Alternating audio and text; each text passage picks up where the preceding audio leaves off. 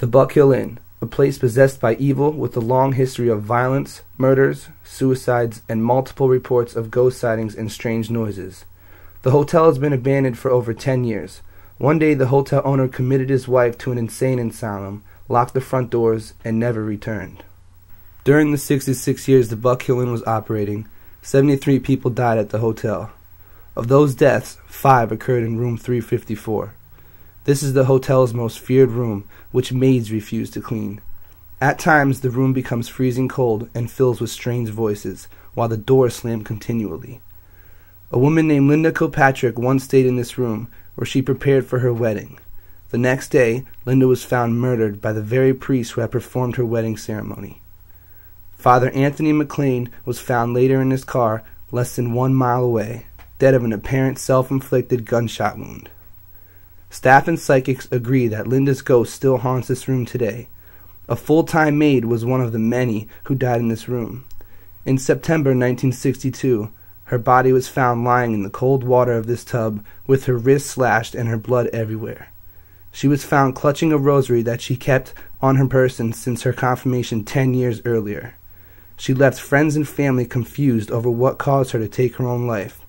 Guests have left angrily after staying in the room because of the ghosts. Finally, the room was locked permanently. This was our visit to the Buck Hill Inn.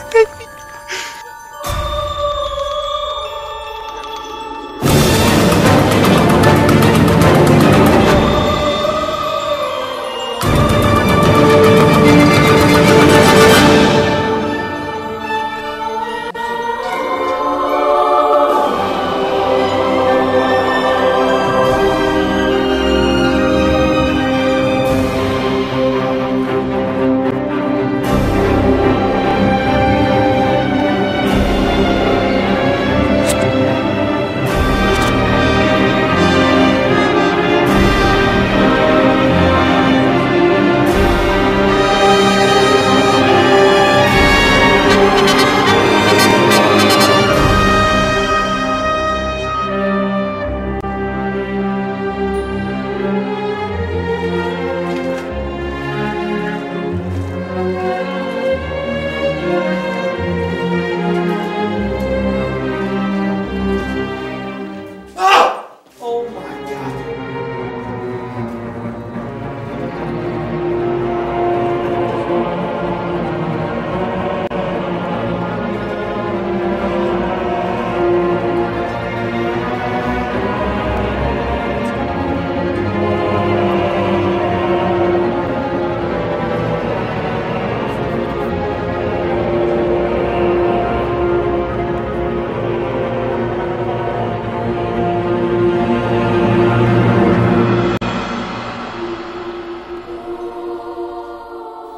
Kilpatrick, we can feel you in here.